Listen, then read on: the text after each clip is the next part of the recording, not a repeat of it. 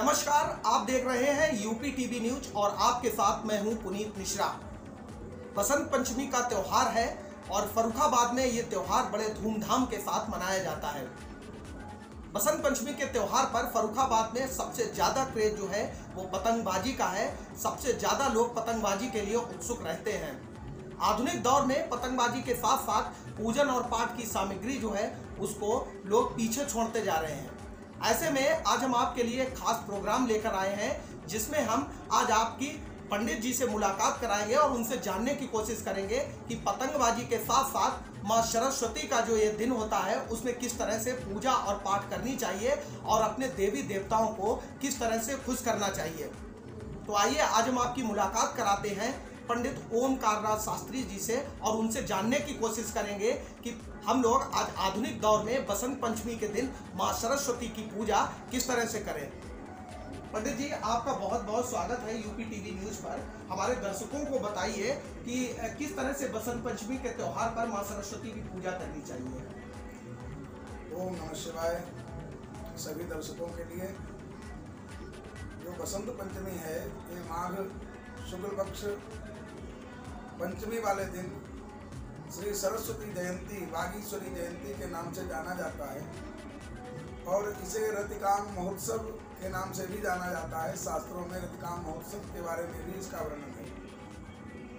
क्योंकि जो कामदेव हैं, उनका बसंत ही एक आयुध है। इसलिए बसंत पंचमी वाले दिन रतिकाम महोत्सव का भी ज़िक्र आता है। शास्त्रों में भगवती सरस्वती का आज जन्मदिन माना जाता है बसंत पंचमी वाले दिन। इस दिन माँ सरस्वती की विद्या चाहने वाले, बुद्धि की पराकाष्ठा पर पहुँचने वाले मेधा शक्ति को जागृत करने वालों को, विद्यार्थियों को माँ सरस्वती की पूजा करनी चाहिए।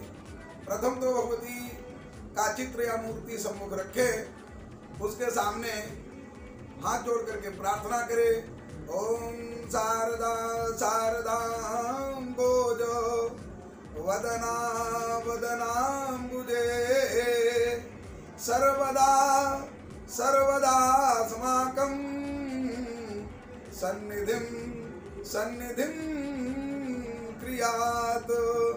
सरस्वती की प्रार्थना करें। प्रार्थना करने के बाद जो भी जल चढ़ाएँ, उसके बाद उनको वस्त्र आदि श्वेत वस्त्र, उसमें साड़ी वगैरह ले सकते हो या अन्य कोई पट वस्त्र ले सकते हो, वो माँ सरस्वती के ऊपर चढ़ाएँ। उसके बाद रोली, अक्षत, पुष्पमाला, यद्यपि इनके भी मंत्र हैं, रोली चढ़ाने का भी ओम गंधद्वाराम दुराधर्षाम नितपुष्टाम गरीश्रीम ईश्वरीम सर्वभूतानाम दामी हो पहवे श्रियम। ओम सरस्वत्यै नमः। गंधम समर्पयामि। अलंकरणार्थे क्षतां समर्पयामि। अक्षता सुरश्रेष्ठ कुङ्कुमाक्ता शोभिता मया निवेदिता भक्त्या। गृहाण परमेश्वरी ओम भूर्वस्वा भागीश्वर्यै नमः। सरस्वती देव्यै नमः। अक्षतां समर्पयामि। पुष्पमाला चढ़ाए।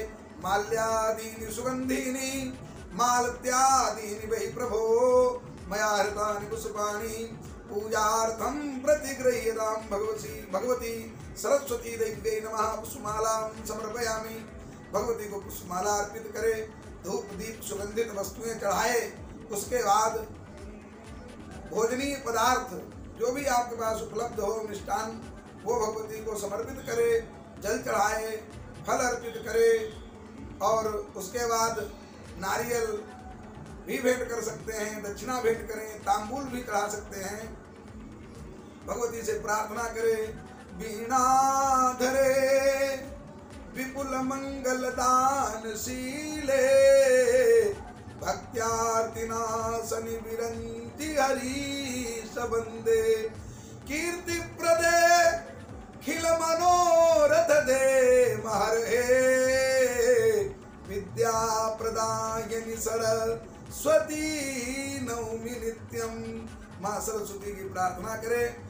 और जो बालक विद्यार्थीगण भगवती की विशेष अर्चना करना चाहें, वह थोड़ा सा हवन भी कर सकते हैं। उस हवन में तिल में थोड़ा घी मिला लें और ओम क्लीम सरस्वती नमः। इसकी एक सौ आठ आहुतियाँ आम की लकड़ी की अग्नि को प्रज्वलित करके और उसमें वह प्रदान कर सकते हैं।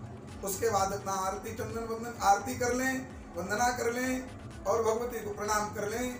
ऐसा करने से उनकी बुद्धि प्रखर होती है, माँ सरस्वती की कृपा से उन्हें विद्या भी अल्पकाल में ही प्रदान हो जाती है। और वह कभी भी किसी चीज़ को विस्मृत नहीं करते हैं उनकी स्मरण शक्ति, मेधा शक्ति जागृत हो जाती है। दूसरा आपको और बताना चाहते हैं, ये तो सरस्वती की पूजा हो गई, जो संतान की इच्छा से आज के दिन पूजा करते हैं, क्योंकि रतिकाम महोत्सव के रूप में भी इस दिन को माना जाता है, बसंत पंचमी वाले दिन। इस दिन मिट्टी के पात्र में, जिसे हम लोग कुंभी कहते हैं, उसमें पहले पूर्व में भी आज भी प्रचलन है कि जौ की बाली, कुछ पत्र आदि, आम के पत्र, बौर सहित कुछ पुष्प, जिसमें पाँच पुष्प रखे जाते हैं, क्योंकि कुसुमायुध उनके पाँच बाण हैं। कामदेव जी के। इसलिए पाँच पुष्प रखे जाते पाँच प्रकार के। उसमें रति काम का पूजन करे और उनसे प्रार्थना करे कि हमें पुत्र, पौत्र आदि दें। तो रति कामाभ्याम नमः, उससे जो भी है, जल, अक्षत, पुष्प, रोली, चावल वगैरह चढ़ाएँ और प्रार्थना करें, उससे पुत्रादि की प्राप्ति और वंश की वृद्धि होती है। ऐसा भी शास्त्रों में इसका वर्णन है।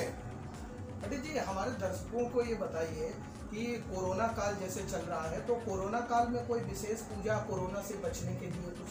देखो, कोरोना एक महामारी है और महामारी में, देखिए, हमारे यहाँ शास्त्रों में हमेशा पवित्रता का बड़ा वर्णन किया गया है। हाथ पैर धोना, कुल्ला करना और आपको एक बात और बताएँ, आश्चर्य होगा आप लोगों को। हमारे यहाँ जैसे छुआछूत जिसे कहते हैं, छुआछूत यद्यपि हम समाज में सभी से प्रेम करते थे। ऐसा नहीं, हमारे वेदों में आया है ब्राह्मणों से मुखमासित बाहु राजन्याकृता शूद्र हो जाए तो ब्राह्मण मुख है, बाहें, और यह क्षेत्र जो है वो क्षत्रिय है, नीचे वाला क्षेत्र जो है वो वैश्य है, पैर शूद्र है। क्या ऐसा हो सकता है किसी के पैर में कांटा लगे, कहे कि ये तो शूद्र गताता है, पैर को छूना नहीं चाहिए तो क्या वो कांटा नहीं लगाए निकालेगा? कांटा निकालेगा, प्रेम करेगा। परंतु कोई मेहमान आता है तो उसे हाथ से ही भोजन कराया जाता है। पैर से थाली को मार करके नहीं कहा जाएगा कि तुम भोजन कर लो। तो यह व्यवस्थाएँ बनाई गई हैं।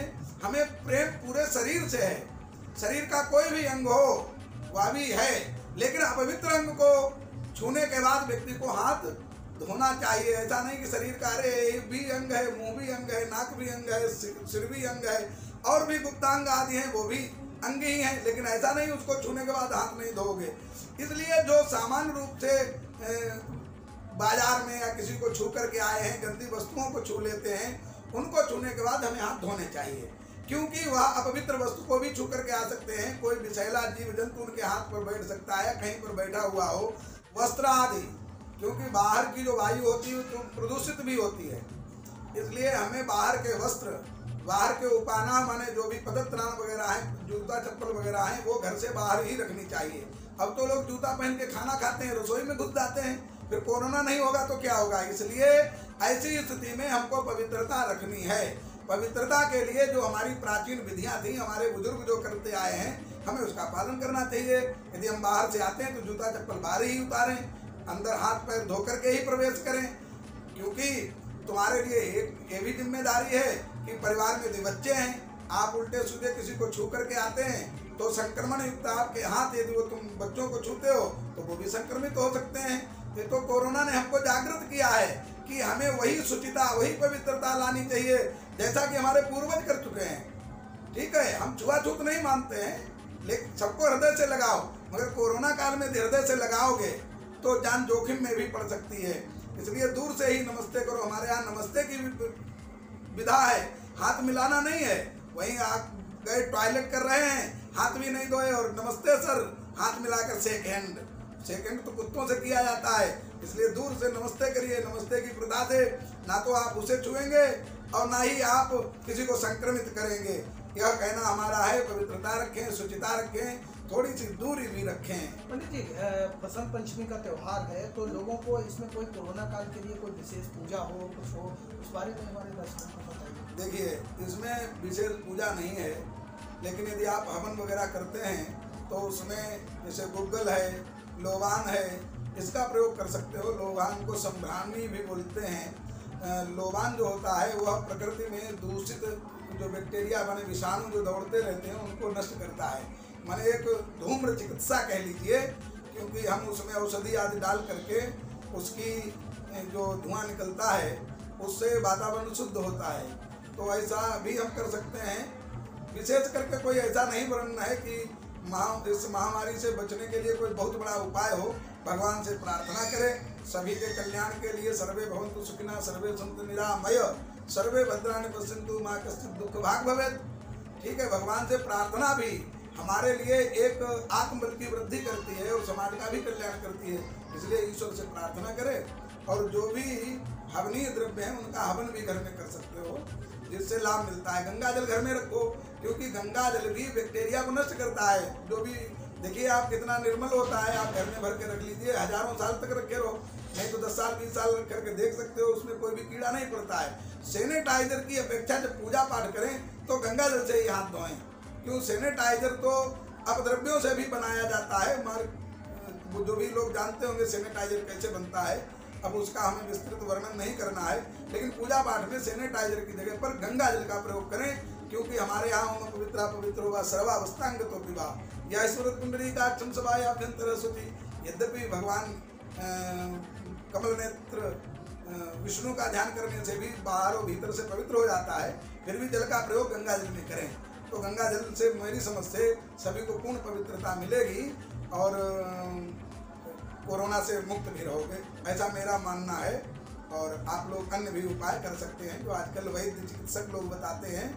ओम नमः शिवाय। पंडित जी एक आखिरी सवाल है। बसंत पंचमी के त्योहार पर माँ सरस्वती को विद्या की देवी बताया गया है।